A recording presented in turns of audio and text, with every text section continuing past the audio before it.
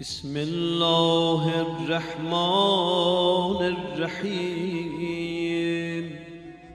اللهم غشني فيه بالرحمة. وارزقني فيه التوفيق والعصمة.